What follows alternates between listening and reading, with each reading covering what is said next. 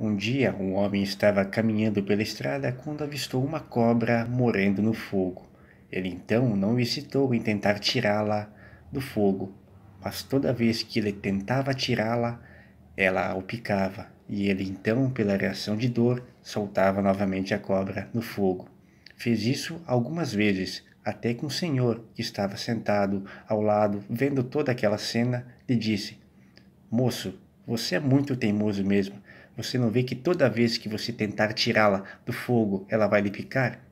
O homem então abriu um pequeno sorriso e respondeu: A natureza da cobra é picar, mas isso não vai mudar a minha, que é de ajudar, e eu vou retirá-la do fogo. Fez isso com mais cuidado e conseguiu retirá-la do fogo, salvando assim o animal. Seja assim em sua vida, não mude sua natureza pelo que os outros acham, seja autêntico. Tenham todos um ótimo dia.